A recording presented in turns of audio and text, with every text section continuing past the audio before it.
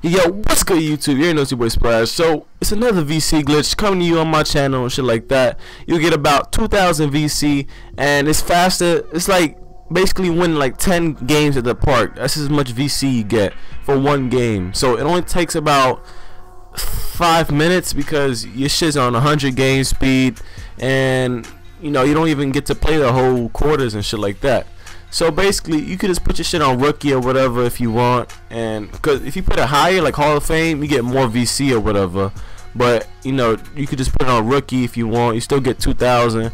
For Hall of Fame, you get like at least 5,000 VC. So over here, I can confirm with you 19,221 VC as shown before.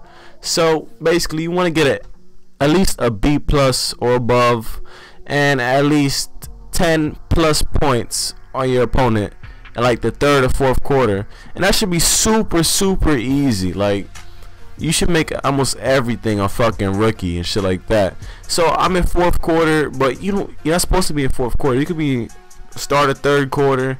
You can be anywhere. You can even do 12 minutes and get hella, hella VC.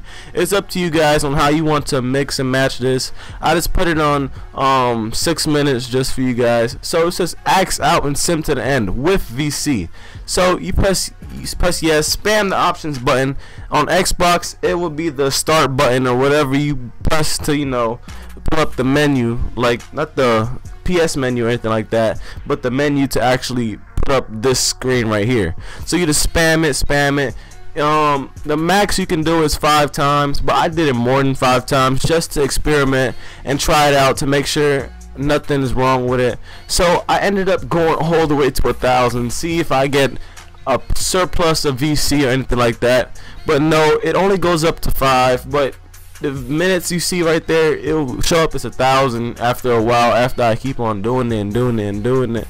So on top of that, you get accolades and all this shit, even though sometimes you didn't even do anything. And I did not shoot that many shots. I damn sure did not play that much minutes and everything like that. And I would like to say thank you to all you guys that been supporting me. I'm on my way to 20k. I'm grinding my ass off and shit like that. Um, I'm trying to upload almost every day. Shout out to my boy Music Ninja. Go subscribe to him. That's my boy right there. You can see I just earned the accolade and the saving. So once you hit it like five times, you can just press circle and then the, it'll like black out and the advance will show up. And then once you press advance, it'll take you back to your my career menu. And you can just keep doing it over and over and over. And the good thing is that once you do this, you can